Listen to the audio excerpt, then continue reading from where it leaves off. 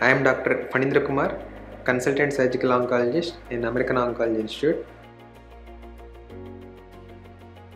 This is our uh, operation theatre complex which is fully equipped with surgical instruments and surgical facilities and also with proper anesthesia backup. We have all type of uh, energy saving devices like LigaSure, Harmonic and all lapros minimal access surgery. Also, we have facilities like uh, laparoscopic instruments with uh, fully equipped with energy saving devices, cartridge machines.